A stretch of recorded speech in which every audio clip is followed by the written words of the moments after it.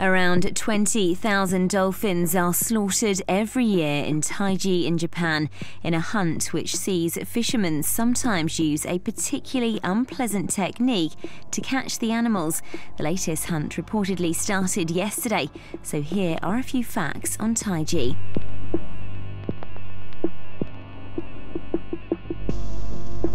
Dolphin hunts take place both to capture the animals for aquariums and to kill them for their meat. It's estimated they can fetch more than $100,000 to go on display, or around $600 for meat draws.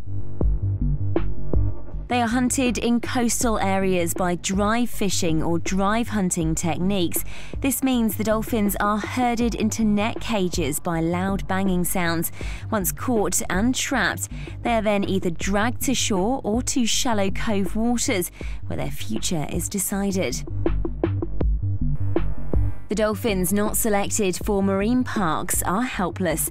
Once in the shallow coves, the local fishermen kill them for the price their meat will fetch.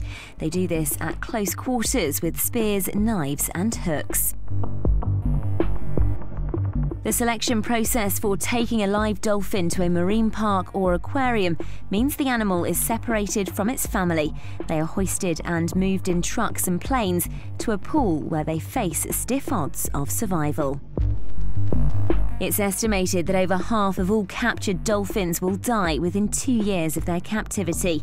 It's thought the adapting process, where they can no longer swim their customary 40 miles a day in open waters or use their sonar properly, is to blame.